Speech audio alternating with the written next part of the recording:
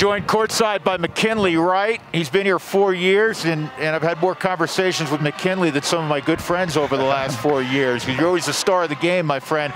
Congratulations on the all-time assist mark. How important was that to you? I appreciate it, first of all, but uh, man, it's just a blessing. Um, a big shout out to Jay Humphries, who uh, set the tone here.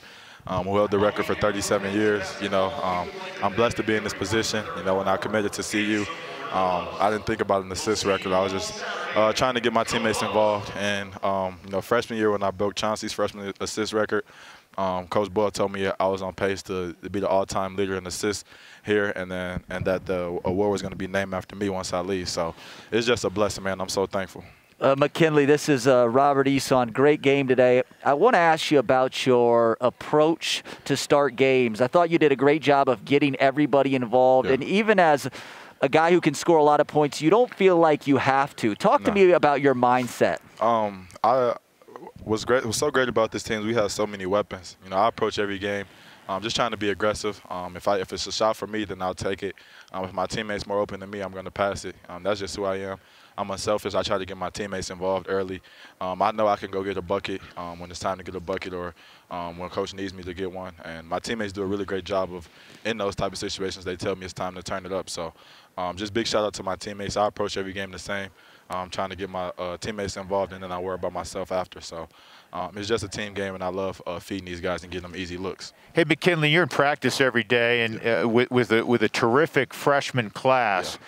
And the last couple of games in particular, kind of a breakout where I think the rest of the Pac 12 starting to find out that Jabari Walker is a heck of a player. When did you realize how good he was? Uh, this summer. Um, I'm good friends with you know, some of those Nuggets guys with Monte Morris and Jamal Murray and those guys. So this summer, you know, Monte, know they invited me uh, to come play pickup with them and told me to bring a couple of uh, teammates.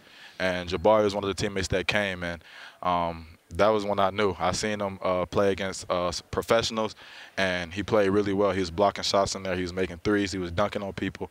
And I text coach after we played pickup with him, like, we got us one.